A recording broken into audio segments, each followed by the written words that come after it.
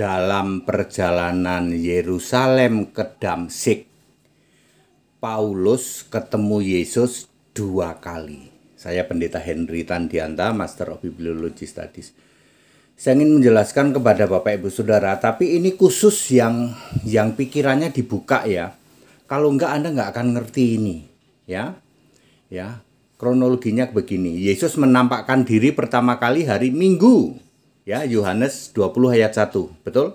Yesus menampakkan diri pertama kali hari Minggu. Berapa lama menampakkan diri? 40 hari, kisah 1 ayat 3.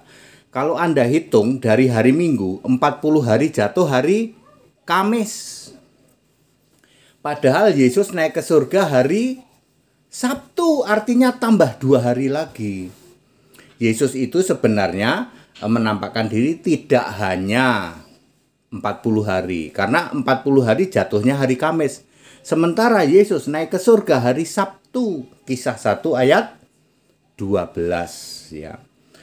Lalu pada waktu hari ke-40 1 Korintus 15 ayat 8 dan paling akhir dari semuanya itu Yesus menampakkan diri kepadaku kata Paulus.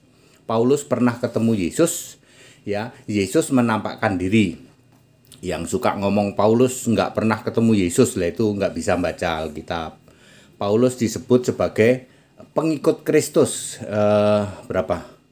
Uh, eh, 1 Korintus 11 ayat 1. Ya, Paulus itu pengikut Kristus.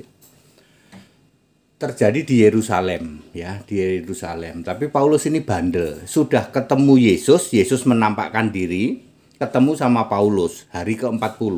Dia bandel, tetap berangkat ke Damsik pengen menganiaya jemaat. Dari Yerusalem ke Damsik jaraknya 315 km perlu waktu dua hari. Pas dua hari di siang hari Yesus sudah naik ke surga. Siang harinya ya memancarkan kemuliaannya kepada Saulus lalu Paulus atau Saulus ini buta tiga hari.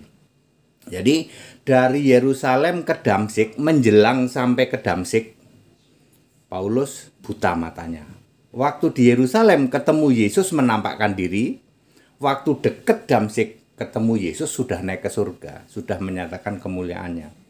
Jadi clear? clear ya. Kalau Anda tidak dibuka pikiran mengerti kitab suci, Anda nggak akan paham kayak gini. Ya. Siapa pun termasuk para mukalaf juga nggak akan paham. Oke, uh, jadi uh, yang mengatakan Paulus tidak pernah ketemu Yesus, wah itu nggak bisa baca Alkitab itu Paulus itu ketemu Yesus berapa? Setidak-tidaknya lima kali. Tadi sudah dua, nanti ada banyak lagi. Di belakang ada tiga lagi. Ya, yang bilang Paulus nggak pernah ketemu Yesus, lalu Paulus bukan pengikut Kristus, berarti nggak bisa baca Alkitab. Ya, 1 Korintus 11 ayat 1, Paulus adalah pengikut Kristus, ya.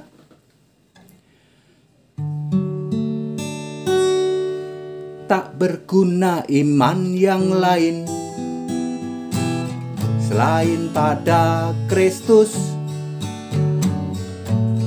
Iman kepada Kristus menyelamatkan, bisa jamin surga.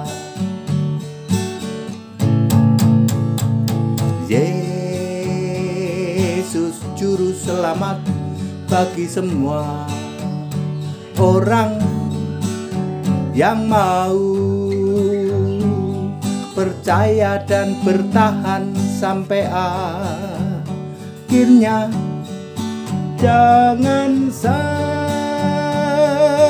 kau percaya pada selain Kristus. Kau kan binasa pasti ke neraka. Jadi very very clear ya Paulus dari Yerusalem ke Damsik pernah dua kali ketemu Yesus. Yang pertama di Yerusalem eh, yang sedang menampakkan diri bisa dipegang kalau itu. Yang kedua ketika hampir sampai di Damsik di dalam kisah 9 ayat 4 kena sinar buta tiga hari.